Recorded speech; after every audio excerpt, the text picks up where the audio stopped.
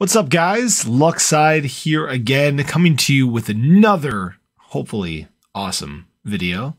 Again, if you haven't already, make sure you click that like, subscribe button. That way, you'll know when we go live with more content. All right, let's talk some XRP, something I haven't really done yet. So, obviously, you know, most people are aware that uh, Ripple is going through this lawsuit with the SEC uh, you know, claiming that they should have, you know, registered as a security, blah, blah, blah, blah, blah, right? While while this lawsuit is going on, XRP is still making deals, right?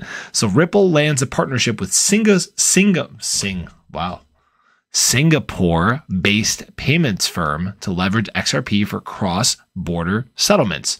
So this is something that actually really speaks to me because when I first got into crypto, the very first um, cryptocurrency that I invested in was a Payrail system, and I really saw the benefit um, and the the potential future use of uh, being able to spend cryptocurrency. You know, because it's fast, it can replace the outdated um, credit system that we have. You know, it's like like 40, 50 years old, right? So it can replace that. It'll be faster. It's you know, more secure. There's all sorts of reasons, right? So this goes on to say that a Singapore based payment solution provider is going to use on demand liquidity, ODL, Ripple's XRP powered cross border payment product. FOMOPay will use ODL to improve its cross border treasury flows, according to a new press release from Ripple. So let's see. Yeah. So basically, they're to use uh, this payment product, right, to get access to liquidity for euro and dollar in order to facilitate same day payment settlements. And this is very important because if you're familiar with, uh, you know, the original original meaning or creation of Bitcoin, right? It was supposed to be this peer-to-peer digital currency. Well, because of obviously the block size, um, it it was impossible to do that because it, you know, it would just take too long right? Nobody can sit there and wait hours for a transaction to go through, right? For a transfer from one person to another, which is why all these these uh, places have come along with just faster and faster and faster solutions. That it seems like we're really moving um, towards towards this, right? There are a couple different uh, companies that utilize this on-demand lending. So Azimo, Novatti, Flash FX, iRemit, Tranglo, SBI Remit, and Pyypl among a few others. So if you see, you know, those kind of names floating around, that's that's what they do, right? Now, there's another article I found that kind of confirms uh, what we just found out. So Ripple CEO threatens to leave the US if it loses the SEC case.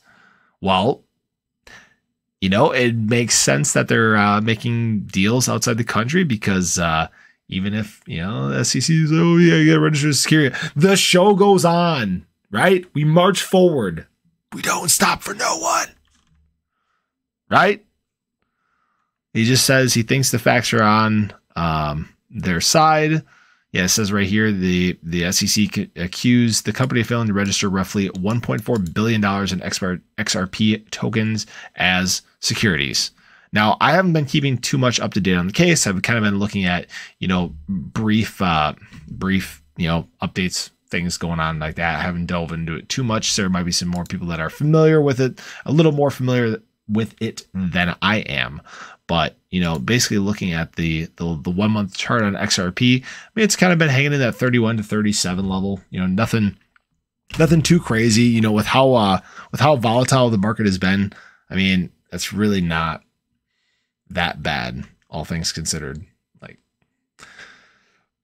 there could be great upside. I mean, right now it looks like on the uh, the 24 hour chart, okay, XRP is up 3.27%, which is to be expected because the whole market realistically is pumping right now. I mean, the whole market's up 2.27%, but we'll we'll have to keep our ear close to the ground. You know, see if we hear any more about some of these financial dealings. Obviously, the the XRP case as it goes through the, the, the trial with the SEC I'm sure that'll be a long, delayed out process. So they must might just say, "Screw it, we're moving anyways," right?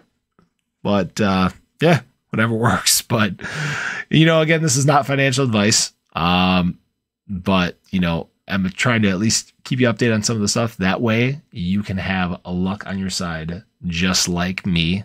Again, if you haven't, uh, hit that subscribe button, the follow. Ding and we'll have uh, more videos coming your way. You guys have an awesome one.